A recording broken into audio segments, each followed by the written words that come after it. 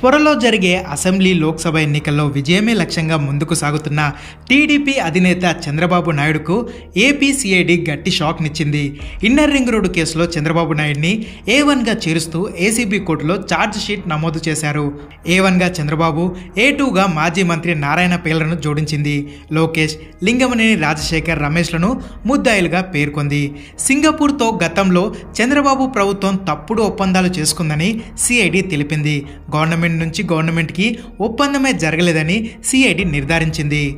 Master plan పేరిట చట్టవిరుద్ధంగా సుర్బానా Zhurong సంస్థకు డబ్బు చెల్లించారని నిర్ధారణకు వచ్చినట్లు తన ఛార్జ్ షీట్లో పేర్కొంది. నిందితులకు మేలు చేసేలా inner ring road seed capital master ప్లాన్లు రూపొందించారని తన ఛార్జ్ షీట్లో వివరించింది.